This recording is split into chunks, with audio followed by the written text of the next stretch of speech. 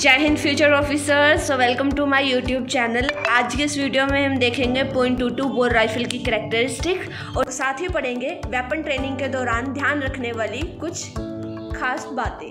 Rifle point two two में cadets दो version आते हैं। Version number one is rifle point two two number four and version number two is rifle point two two deluxe B A इन दोनों rifles का mechanism लगभग same ही है। आइए देख लेते हैं इन दोनों राइफल्स के करेक्टरिस्टिक अगर मैं लेंथ की बात करूँ तो point two two mark four की लेंथ फोर्टी फाइव इंचज रहेगी और पॉइंट टू टू डिलक्स की लेंथ फोर्टी थ्री इंचज रहेगी।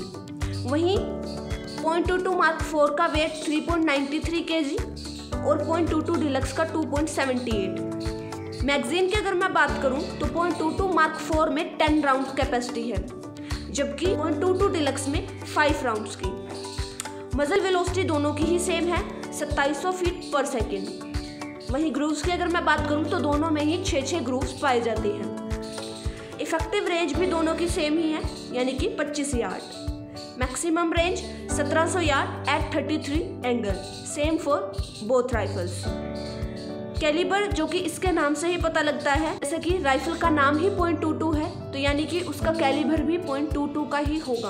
वहीं उसमें जो एम्यूनिशन यानी कि आप जो बुलेट यूज़ करेंगे, वो भी पॉइंट टू टू की ही होगी। रेट ऑफ़ फायर की अगर मैं बात करूँ तो दोनों rifles normal rate of fire पर पाँच राउंड पर मिनट फायर करती हैं। वहीं रैपिड पर 10 से 15 राउंड पर मिनट फायर करती हैं। इसके बाद हम पढ़ते हैं handling of point two two rifle एक अच्छे फायरर की खूबी है कि वो तेज़ी से राइफल को भरे, लोड करे और दुरुस्त फायर करे। वहीं राइफल पॉइंट टू टू को खोलना और जोड़ना और उसकी साइड सेटिंग भी कई बार प्रैक्टिकल के दौरान या फिर रिटर्न एग्ज़ाम में भी पूछ ली जाती है। सबसे पहले हम देखते हैं राइफल को खोलना। खोलने के लिए सबसे पहले बायोनट, फिर स्लिंग, बोल्ट और फिर केस कोलेक्टर को खोला जाता है। स्लिंग को उतारें और रोल करते हुए ग्राउंड पर रख दिए। सेफ्टी कैच की पोजीशन याद रखें, खोलते समय एस पर हो।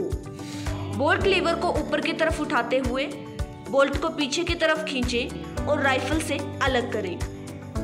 आखिर में केस कोलेक्टर कैच को दबाते हुए केस कोलेक्टर को अलग करें और साफ़ जगह पर रखें। आइए अब देखते हैं जोड़ना। राइफल को जोड़ने के लिए देख ले कि सेफ्टी कैच की पोजीशन आर पर है। बोल्ट को उठाएँ और बोल्ट हेड को टाइट करें। उसके बाद बोल्ट को गाइड के साथ मिलाते हुए फिट करें। पुर्जों का रजिस्ट्रेशन नंबर चेक करें, यदि आपने दो से ज़्यादा राइफल के पुर्जे खोले हुए हैं। ट्रिगर दबाएँ, सेफ्टी कैच एस पर करें। स्लिंग को राइफल में फिट करें और बायोनेट सबसे बाद में फिट करें। उसके बाद एक इम्पोर्टेंट डेफिनेशन आती है साइट सेटिंग की। कई बार आपके प्रैक्टिकल व रिटर्न एग्ज़ाम में इसकी डेफिनेशन पूछ ली जाती है। बताइए साइट सेटिंग क्या है? थम स्प्रिंग को प्रेस करें और साइट को सेट करें। याद रखें मजल की तरफ़ ले जाने से रेंज बढ़ती है। राइफल को यूज़ करने के साथ साथ राइफल की सफ़ाई करना भी उतना ही ज़रूरी है। सफ़ाई करने के तीन तरीके हैं। फ़र्स्ट इज़ आम सफ़ाई सेकेंड इज़ फायरिंग के दौरान सफ़ाई एंड थर्ड इज़ फायरिंग के बाद की सफ़ाई। आम सफ़ाई के फर्दर तीन पॉइंट्स है गाइस डेली सफ़ाई। डेली सफ़ाई यानी कि जो रोज के रोज की जा सकती है। उसके बाद वीकली सफ़ाई एंड देन क्वार्टरली सफ़ाई। एक इम्पोर्टेंट नोट कि सफ़ाई के लिए चिंदी का साइज़ चार into one point five inch और ऑयल के साथ चिंदी का साइज़ चार इंटू एक इंच ही होना चाहिए। अब देख लेते हैं कुछ सुरक्षा संबंधी बातें। फायरिंग पॉइंट से पहले जाँच लें कि हथियार क्लियर मैगजीन उतरा हुआ और सेफ्टी डिवाइस लगा हुआ हो। मजल हमेशा सुरक्षित दिशा में हो। ड्रिल के दौरान कार्ट्रिज का इस्तेमाल नहीं करना चाहिए। एम्यूनेशन प्रैक्टिस के मुताबिक ही इशू होना चाहिए। हरकत सिर्फ़ चाल करने पर ही की जानी चाहिए। चैम्बर हमेशा खाली होना चाहिए। और ड्राई एक्सरसाइज से पहले हथियार का निरीक्षण हमें कर लेना चाहिए। ये बातें थी फायरिंग पॉइंट से पहले की। अब जान लेते हैं फायरिंग पॉइंट पर ध्यान रखने वाली बातें। एम्यूनेशन की सफ़ाई और डैमेज का ध्यान रखें। बैरल सुरक्षित दिशा में है, इसका भी ध्यान रखें। राइफल में एम्यूनेशन केवल हुक्म पर ही भरें। सही खाली करके कार्रवाई करें। इसके बाद कैडेट्स आता है एमपीएल यानी कि मेन पॉइंट ऑफ़ इम्पैक्ट एक साथ और एक ही टारगेट पर फायर की गई गोलियों के केंद्र बिंदु को ग्रुप का मेन पॉइंट ऑफ़ इम्पैक्ट कहते हैं।